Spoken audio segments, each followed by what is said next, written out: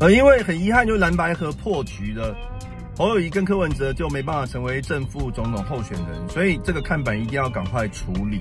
昨天早上我也联络赵少康那边，但是听说照片要到礼拜一才会有啊。那大家都很心急啊，一直问我说看板怎么要怎么弄怎么弄啊。那所以我昨天就想说，呃，才呃找到一个国宝级的画家。那这个画这个画家呢，他以前是画琼瑶电影海报的。那我们赶快用画的方式来处理啊，一方面可以赶快让看板能够这个呃被处理好，然后另外一方面透过这种呃记录手绘方式，可以更加呈现我对这个看板的重视。我们用一种比较细致、比较用心，甚至是用译文推广的方式来处理这个看板。那最近也有很多人来这边打卡啊，特别是外地的人啊，还会留言问我说看板在哪里啊？那我觉得也也不失为一个吸引观光客的好方法嘛，可以。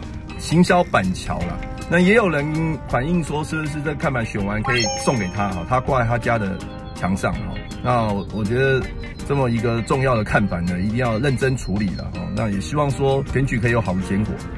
我们今天因为这个需要花这个需要很长的时间呢，所以师傅先他先把轮廓把它勾勒出来。那我们会继续画，好，继续画，好，拜拜。呃，我自己是蛮有信心的，我看得出来大家都还蛮想下架民进党，所以这个看板有信心可以一直挂到一月十三号。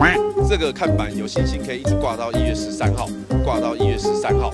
不要瞎掰好吗？这些话是叶元之在十一月十八日时所说。没想到一切的一切中，就赶不上一个政党参选人的心情变化。